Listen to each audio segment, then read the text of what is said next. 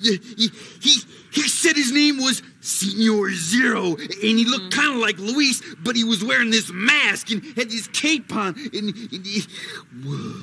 Well, maybe it was Luis. Why, you think so? Well, it could be.